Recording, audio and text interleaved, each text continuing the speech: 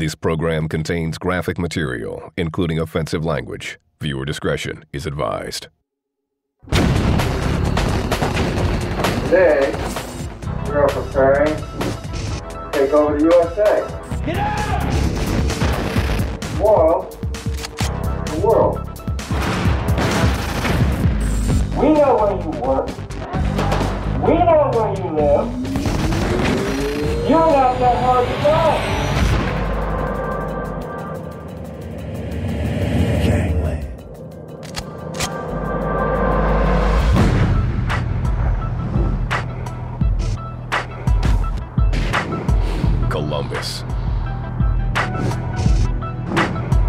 Capital of Ohio, and home to some 750,000 people.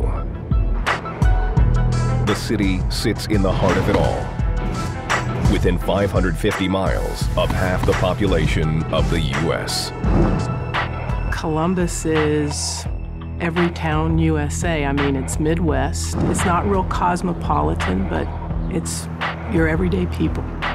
This is Middle America personified. Columbus also has a criminal network to rival any city. It is a place where those that might be disposed to do that kind of thing think that they can be undetected. Among the most notorious gangs here, the Aryan Republican Army, or ARA. They were misfits and losers, radical neo-Nazi white supremacists who wanted to overthrow the federal government and install a white supremacist dictatorship. And they also really liked guns and bombs. We basically have three general objectives. Eliminate the government, exterminate and repatriate all non-whites with their lands. That's it. The ARA is also known as the Company. The gang has built a reputation for robbing banks. 22 since 1994. And pushing its racist agenda. Our belief system went on if we can rob enough banks, we might be able to fund a race war of some sort and give our bounty to other racist groups and, and help them flourish. There has to be means to resist. Well, then you need the logistics to resist. Well, then you need the funding to get the logistics. So all these things taper together, and you know, before you know it, I mean, it's all a criminal enterprise. 38-year-old Sean Kenny is a former ARA associate.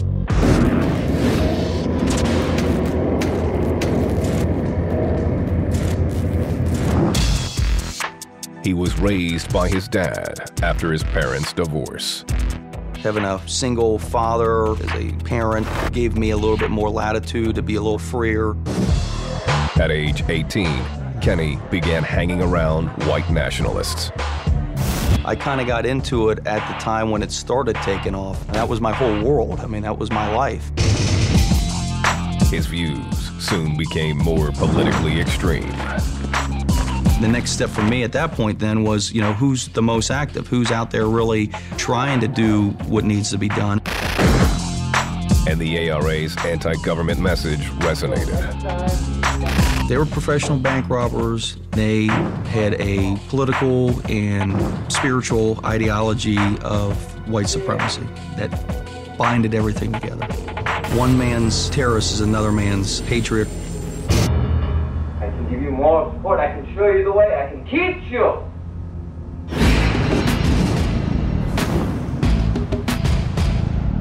The ARA has two leaders. One is Peter Kevin Langan, aka Commander Pedro.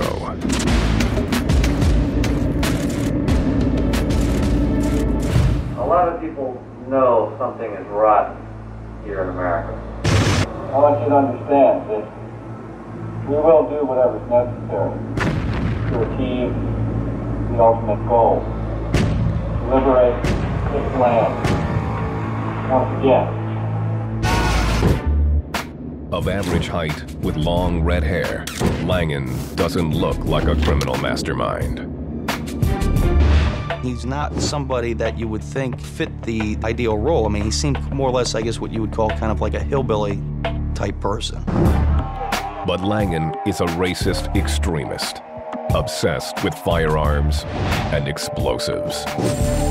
Extremely manipulative and conniving, extremely intelligent, and probably would be somewhat amused to be written off as a kook. We need to quit crying and start making die. The other leader is Richard Lee Guthrie Jr., aka Commander Pavel.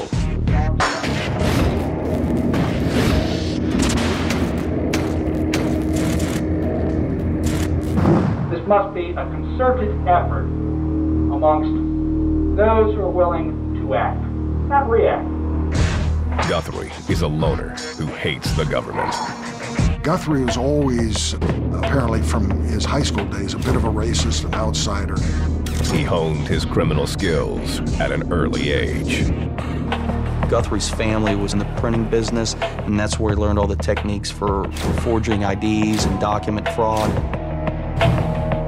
He was very proud about his cleverness. His ego was high enough where he needed to vent every once in a while and get that feeling of success, admiration, look what I've done. When you know the truth, the truth will set you free. The partnership between Guthrie and Langan made the ARA a ticking time bomb. So it's sufficient to say to all you federal whores, you've been warned. Linger on this continent at your own peril.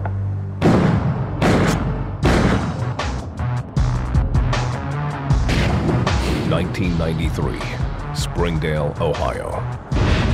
Guthrie enlisted 21 year old Sean Kenny to help him case the Society National Bank.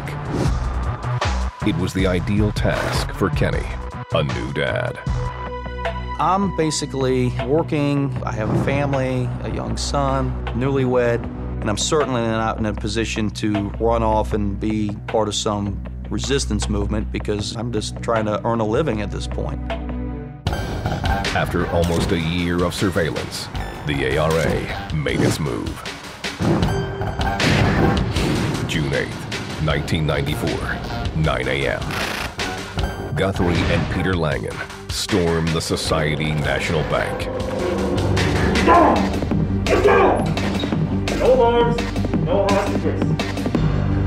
It was the takeover type robbery. They wore president's masks. One was Nixon and one was Reagan, almost out of the movie Point Break. Guthrie nervously watched the clock as Langan approached the teller counter. Langan went over the counter, got the money, and they were out. And it took a very short period of time. In two minutes, the robbery was done. But as they sped away, they heard a loud pop. Red smoke filled the car. The big problem they had with this bank is that they got what's called a dye pack. It was put in the bag when they grabbed up the money and it exploded as they left. So it often ruins their ability to utilize the funds that they take. Langan rolled down the window and threw out the dye stained bills. They robbed that bank of around $11,000. And I think somewhere in the neighborhood of eight to 9,000 they ended up throwing out the window with the dye pack when it exploded.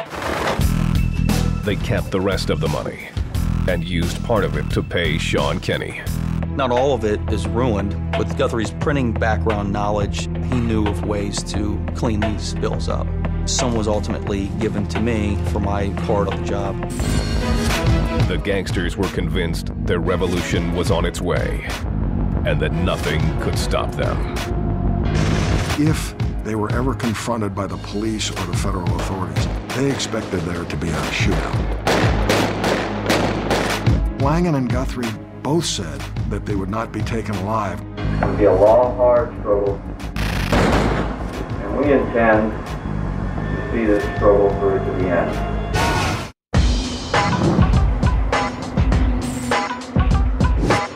Columbus, the capital of the Buckeye State, the biggest city in Ohio, is home to a host of criminal organizations.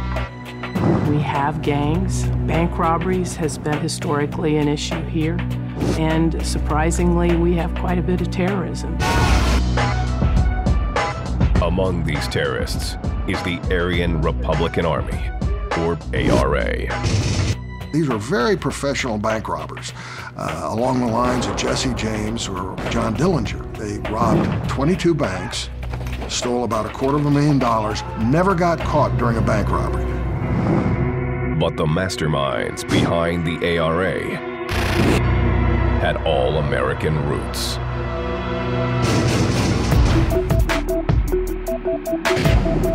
Nineteen sixty-three, Saigon, Vietnam.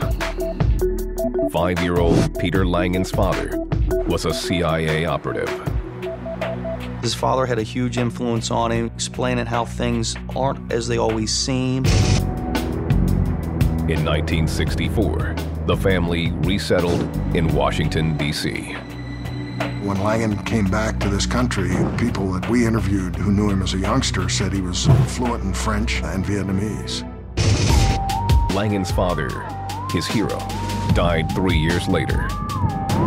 The nine-year-old was set on a self-destructive path. After his father died, Langan ran away from home, got arrested down in Florida for robbery and spent five years in prison down there as a teenager. That's where he became violently anti-black. In prison, Langan protected himself by any means necessary. He'd grow his fingernails out long, hair out long, and look like a crazy wild man to defend himself in jail. He got out in 1979 and soon befriended 21-year-old Richard Lee Guthrie Jr., a soldier with a troubled past. Guthrie was in the Navy for a while and tried to get into the SEALs, but they rejected him. Guthrie purposely missed sailings in 1983 and was considered AWOL. He then painted a swastika on a Navy ship and was court-martialed. He was just very bitter towards the government. He just liked to stick it to the system. By the early 90s, Guthrie and Langan were immersing themselves in hate groups, which were gaining momentum in Ohio and Pennsylvania. Frank Mink grew up in South Philly's skinhead scene.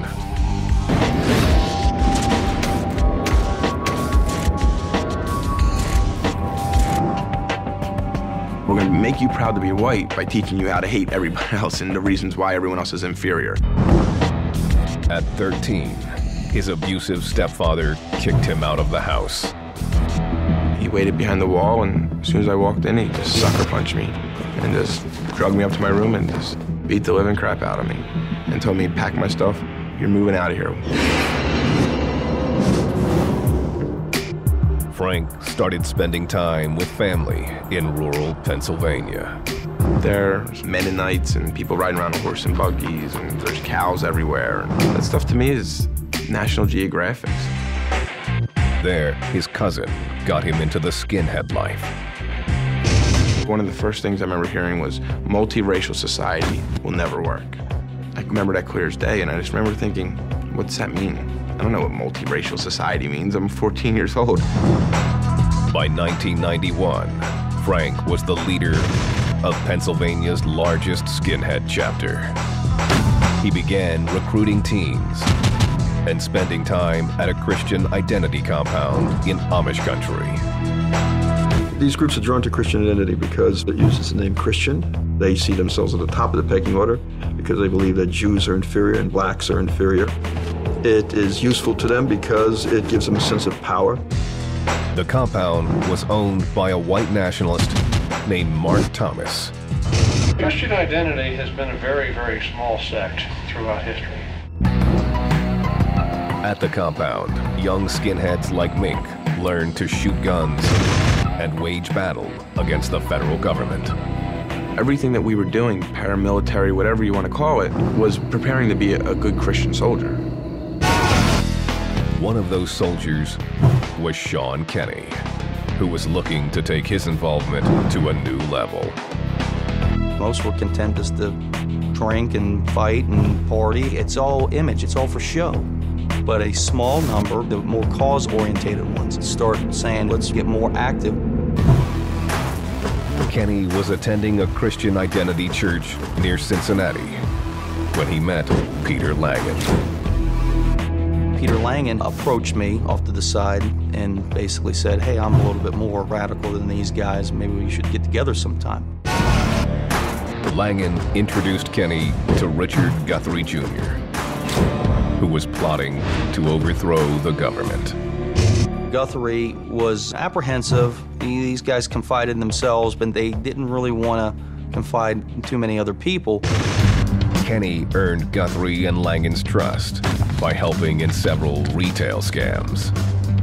I'm in their net because I'm doing some illegal things, so obviously I'm not someone they have to worry about because now I'm doing the same thing. In 1992, they decided to rob a Pizza Hut. Langan was arrested, while Guthrie escaped.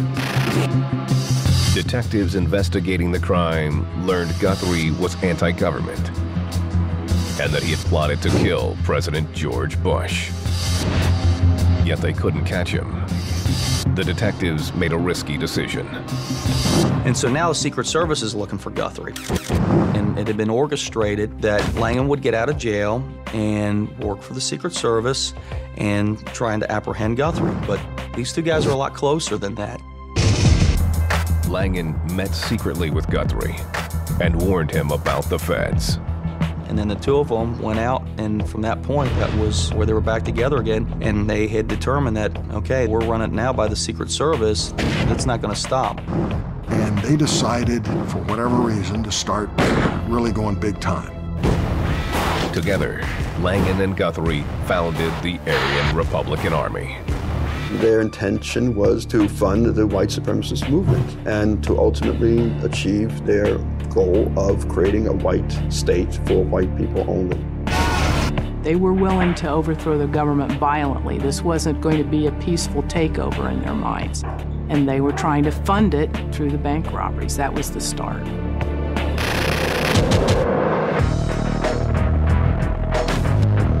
On April 19, 1993, the feds raided the Branch Davidian compound in Waco, Texas. At least 77 people, including 20 children, died in the battle. That backed up what the racist movement had been saying for years that the feds are going to come and take us away and put us in these camps and take our guns away. The incident threw fuel on the ARA's fire. You just can't have a retreat mentality because if you retreat, they're going to get you. So now it start justifying you need to go on the offense.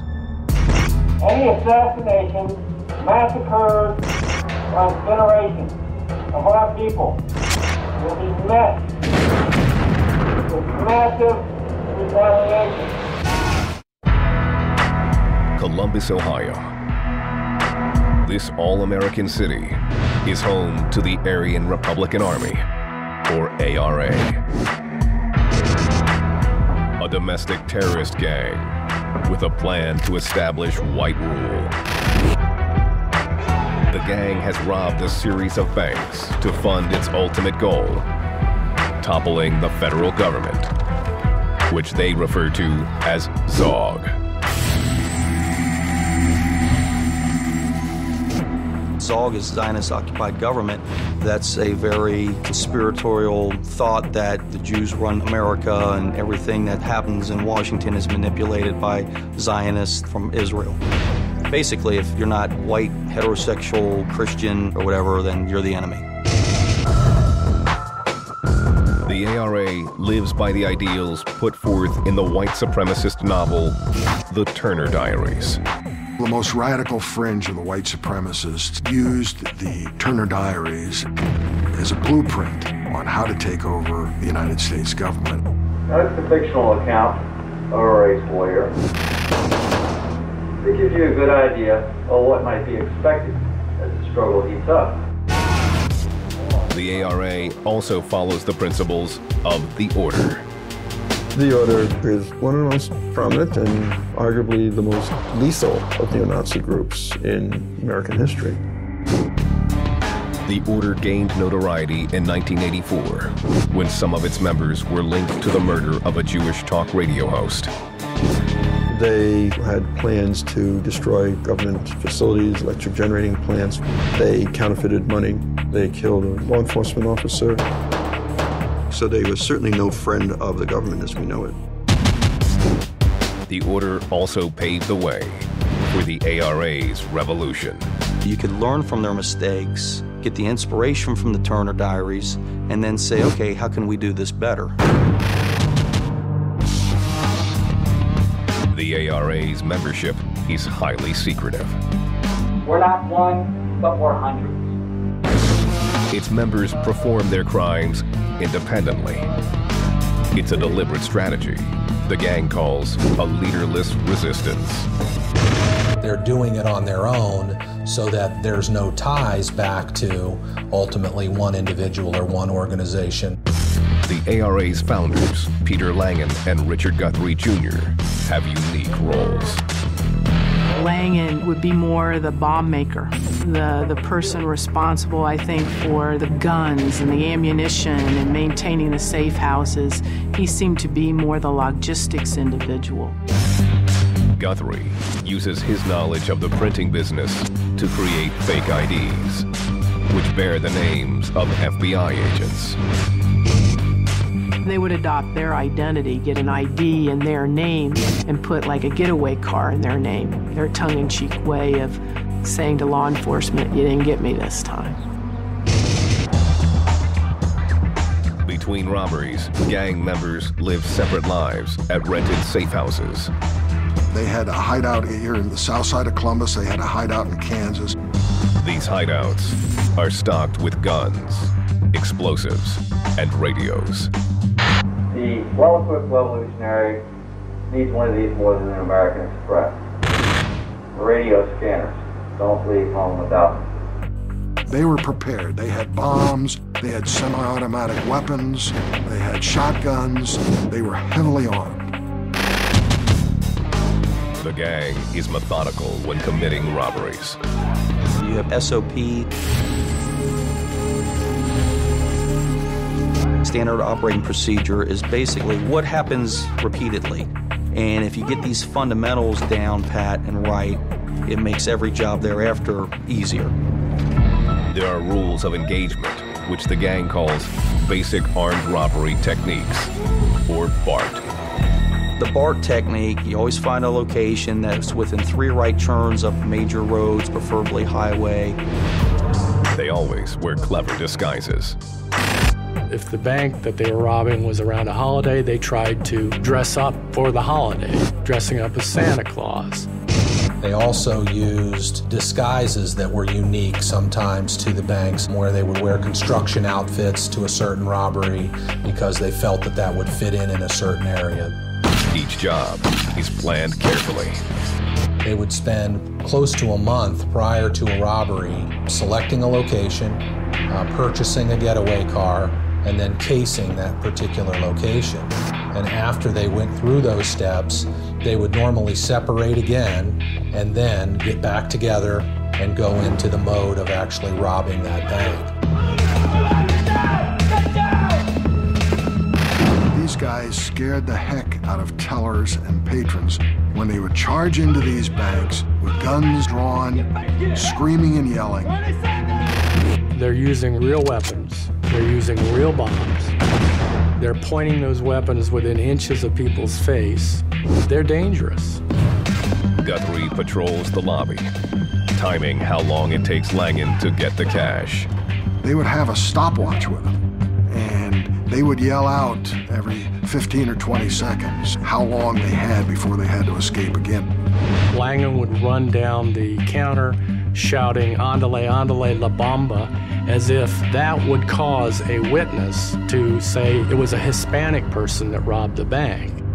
They're gone within 90 seconds, leaving behind an explosive device to divert attention. It is a bomb. They're going to move it. So they want everybody to move back. That required them to evacuate the bank, to call the bomb squad, to remotely bring that particular device outside and remotely detonate it. And while they're doing that, the law enforcement then don't have the people trying to find the people who had just robbed the bank.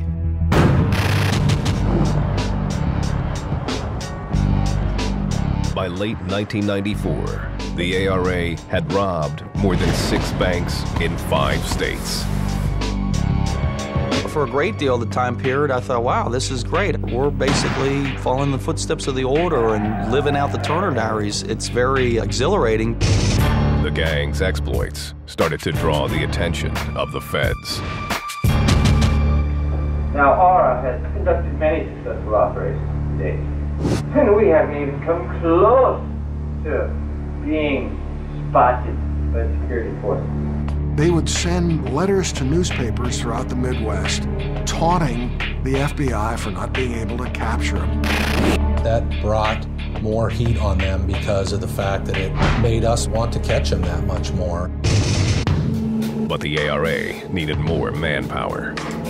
They had hoped to create more cells, so they wanted to recruit as many people as possible because it is the Aryan Republican Army. It's not a group, they wanted an army. The gang soon produced a two hour recruiting video to send to white supremacist leaders. Join ARA's cause. We need you.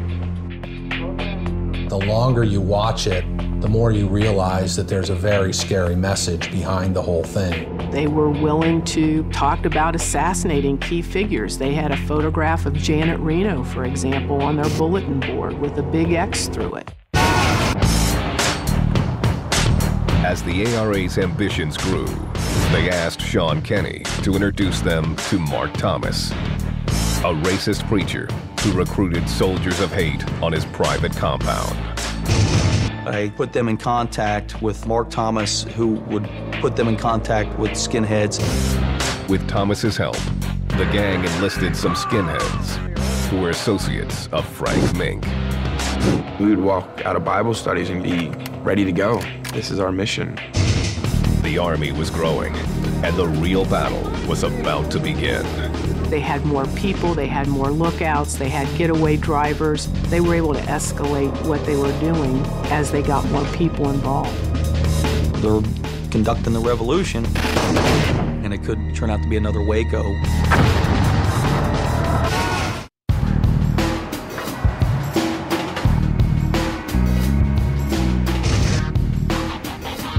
Columbus, Ohio, 1994. The Aryan Republican Army and its new recruits were on a violent crusade to fund a white supremacist revolution.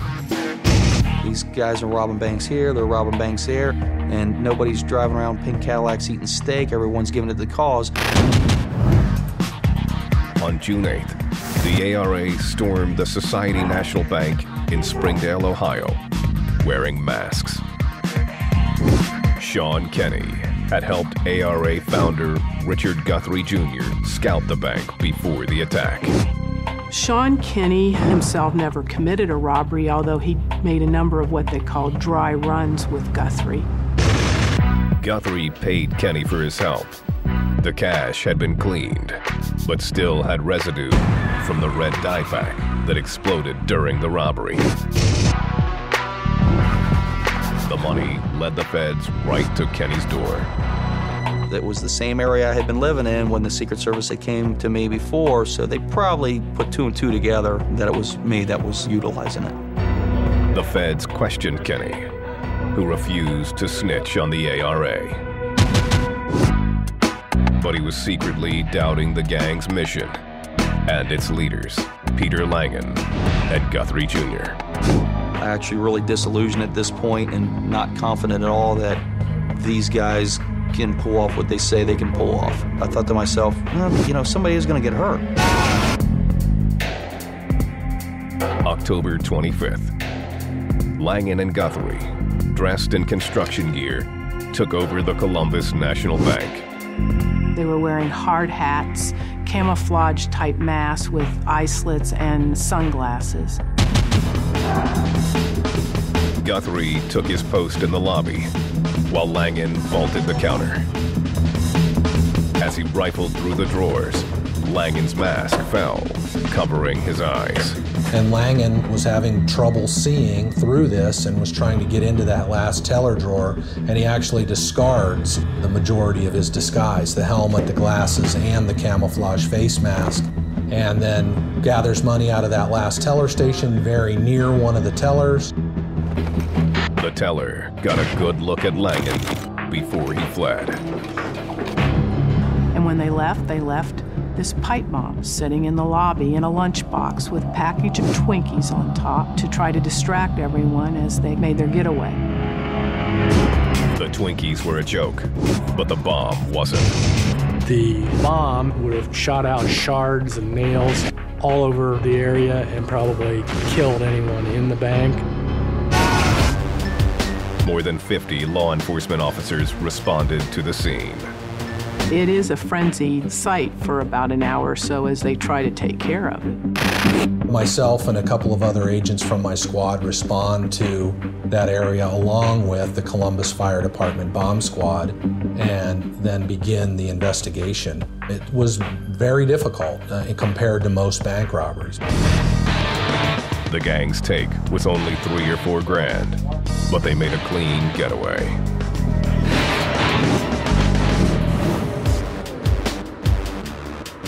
By 1995, the FBI was actively investigating the robbers, whom they dubbed the Midwestern Bank Bandits. Though the bank teller had gotten a good look at Langan, authorities couldn't be certain who he was. This was one of the FBI's biggest cases and one of their most frustrating cases. It wasn't until a fellow named Sean Kenny contacted the FBI that they knew for certain who they were after. They caught a break when Kenny decided to come forward in April 1995. That's when Timothy McVeigh blew up the Alfred P. Murrah Federal Building in Oklahoma City, killing 149 adults and 19 children. It's one thing to read stuff, it's one thing to maybe fantasize, but this stuff is really starting to happen. Kenny revealed to the FBI that ARA leaders Richard Guthrie Jr. and Peter Langan were the bank robbers they had long pursued.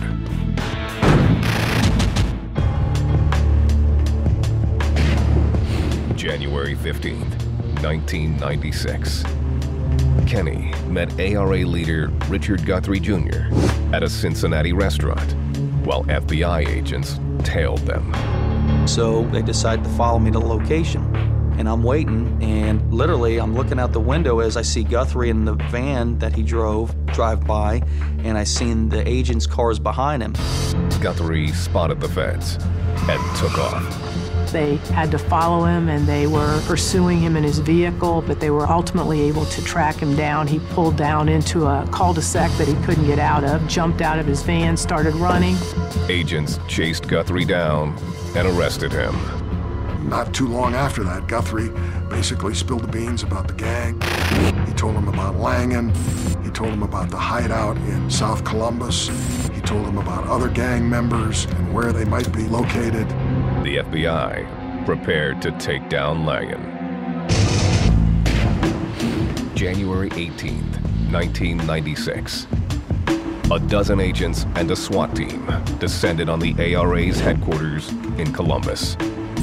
Guthrie had warned us that Langan wouldn't be taken alive, that he had guns, explosives, bulletproof vest, and that it was something that we would have to be very careful about.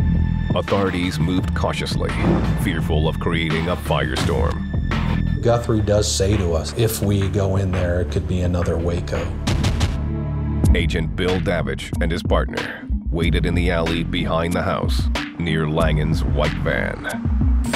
Our plan was to allow Langan to come out, block the re-entry to the house so that he couldn't get back inside, and arrest him either in the van behind the house or in the alley as he was leaving that area. FBI surveillance captured Langan leaving the house. Walking back toward the van. Okay, he is at the van. He's at the van. Stand by. Driver's door is opening. He's getting in. He sits in the vehicle for a short period of time, not moving, doesn't appear that he started the vehicle. The agents moved in. Move that van. Let's go right now. My partner starts yelling out commands for him to give up FBI, police, show us your hands. And he seems like he's being compliant. He was making an assessment of how outnumbered he was. What he did was he jumped backwards from the front of the van over the seats into the back of the van and then came up in a two handed assault type stance with a handgun drawn. I hear a gunshot that I thought came from inside the van, and I fire three shots from my shotgun at Langan. The other agents opened fire, peppering the van with 48 rounds.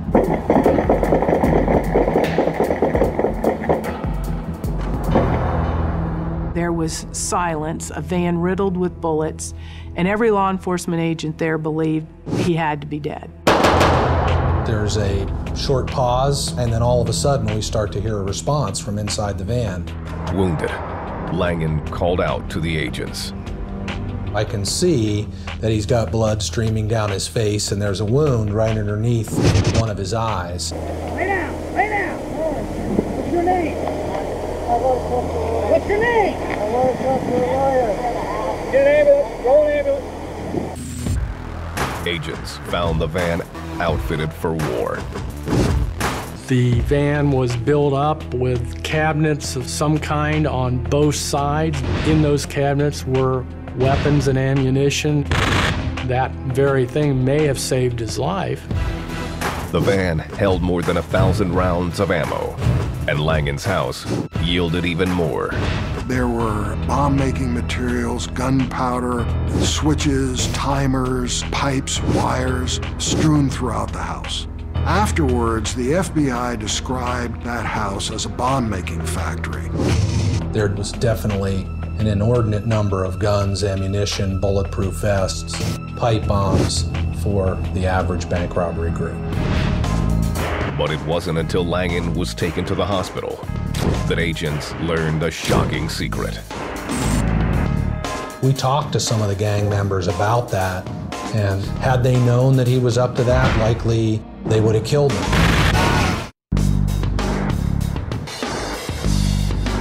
In January 1996, the leaders of a gang of domestic terrorists, the Aryan Republican Army, were taken into federal custody. Last week, two individuals were arrested Richard Lee Guthrie Jr., Peter Kevin Langan, who uh, are suspected of being involved in a series of bank robberies that have been committed in six different Midwestern states over the last two years. Langan, who was wounded during a shootout with the FBI, was taken to the hospital. There, doctors made an astounding discovery. That was when they noticed his long fingernails. That's when they noticed that all of his body hair, including the hair around his groin area, had been shaved clean. He had an entirely different agenda and a hidden lifestyle that none of us knew about until well after he was captured. Langan led a double life. When he wasn't running the ARA, he lived as a woman named Donna. This had been something he'd been doing for a while. This ain't somebody just throwing on a wig and putting a dress. This was someone who was really trying to be a woman. Prosecutors believed Langan's sexuality was a ruse. He claimed to be a transsexual, and that was one of his primary defenses to try to get out of the charges, to say, how could I be a white supremacist if I really feel that I am a woman inside a man's body?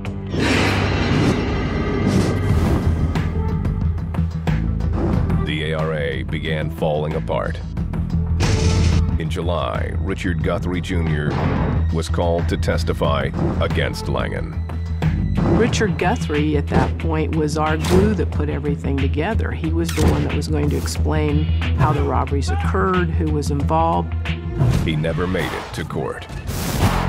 The day before his appearance, Guthrie hung himself in his jail cell.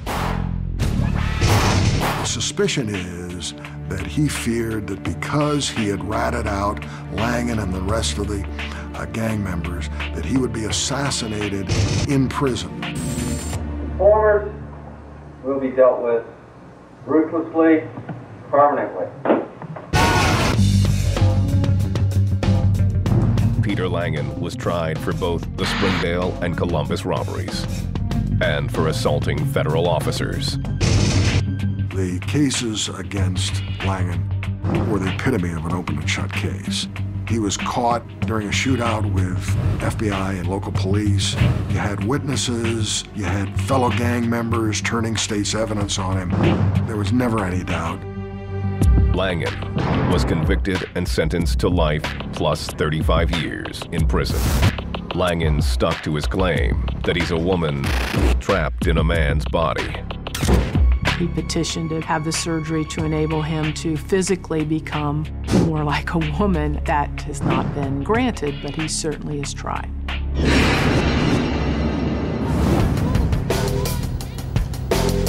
Four more members of the ARA were sentenced to time in prison, including several with ties to Frank Mink. Mink has since renounced his racist views. When I was putting out negative violence, hatred, it always came back to me. Once I started putting out love and positive and respect, it always came back to me.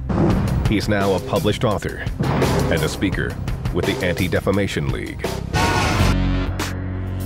Still, the ARA's legacy lives. Conspiracy theorists believe the ARA helped fund the Oklahoma City bombing. The FBI acknowledged that they questioned a number of the ARA members about whether there are any links between any of them and Timothy McVeigh. So even the FBI at one time was interested in a possible link. Is it possible they crossed paths? Is it possible they were involved? I can't say it's not.